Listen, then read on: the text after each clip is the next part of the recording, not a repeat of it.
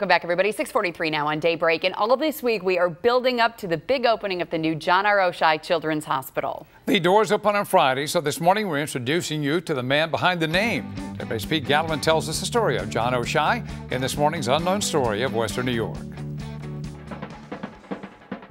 John R. Oishei was born in 1886 and grew up on Buffalo's west side. He went to Central High but never graduated, quitting instead to help in his father's law practice. But it was a part time job as an usher at the Star Theater at Pearl and Mohawk that paved the way to John's passion.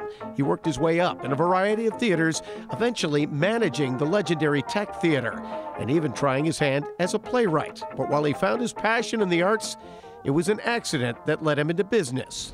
John Oishei's life and fortunes changed as he was driving up this stretch of Delaware Avenue in 1916 during a rainstorm. As he was approaching Virginia Street, he hit a bicyclist, a bicyclist he never saw.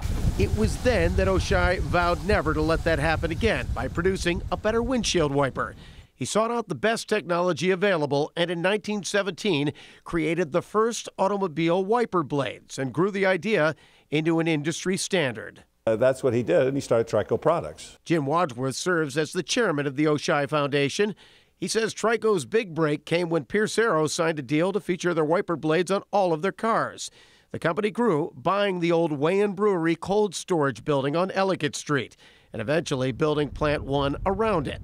Wadsworth says that from the very beginning, the Trico founder was a strong Buffalo backer, even standing up for his hometown when Henry Ford tried to pressure him into moving that I want you to move your company to, to Detroit, so it'll be near the Ford company. He said, no, I'm, I'm a Buffalonian. I'm going to keep my company in Buffalo. And Ford said, okay, I'm not buying windshield wipers from you.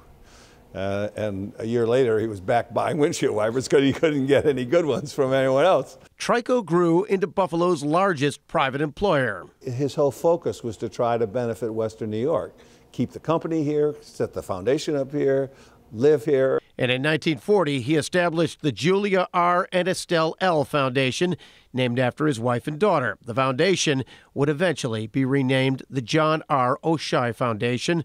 But from its start, it concentrated its support to hospitals and schools in the Buffalo area, with the balance being directed to cultural and social service needs. So, uh, Mr. Oishei was a very loyal Buffalonian, and so the idea of of setting up a foundation that would uh, that would benefit uh, this community with the bulk of his foundation uh, was very very natural to him. And that's why they made an initial award to help with the establishment of the medical campus itself.